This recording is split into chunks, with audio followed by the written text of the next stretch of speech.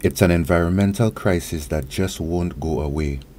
For over a decade, St. Lucia has battled the invasive spread of sargassum seaweed drifting from the Atlantic and overwhelming the island's coastlines, clogging beaches, endangering marine ecosystems, and impacting vital industries such as tourism and fishing. Now, as the brown tide resurfaces, government officials are renewing calls for urgent action. On the latest episode of Agriculture on the Move, Deputy Chief Fisheries Officer Thomas Nelson weighed in on the growing threat. Of late, there have been reports of another source of sargassum, uh, which is really in the northern um, Brazil shelf. So down near Brazil, Suriname, Guyana, in this area, there's been uh, another source identified where sargassum is blooming. The accumulation of sargassum, typically concentrated along the island's east coast, has created a range of difficulties for beachgoers, fishermen, and marine life. Nelson also highlighted a new development. The seaweed is now beginning to show up along the island's western coast. You would get the influx or the strandings uh, on the east coast.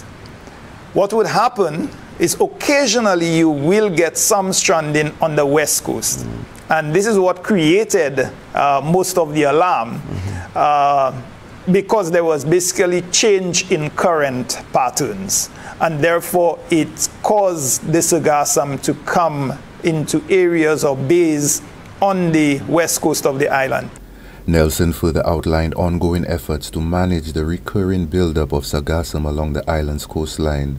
He also emphasized the various challenges involved in addressing the issue.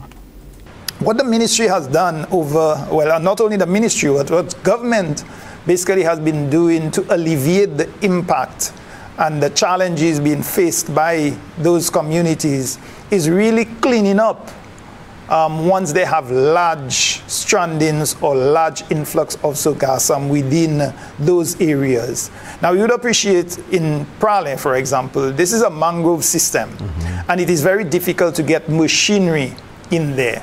In Micoud, you have a beach area there. Um, in uh, uh, Savannes Bay, Sometimes when it comes in there, it's again another very sensitive marine um, uh, ecosystem where you have mangroves. But this has generally been um, what has been done over the years. While the government continues to explore solutions to address the influx of sargassum, the Deputy Chief Fisheries Officer offered an update on ongoing initiatives and response efforts. St. Lucia will be benefiting from a a UNDP project that is funded by the government of Japan to provide some equipment and machinery. And in fact, we are in the process of, we are, some of this equipment have actually arrived on island, the first phase or the first set of equipment, and we are in the process of clearing these, these, these pieces of equipment.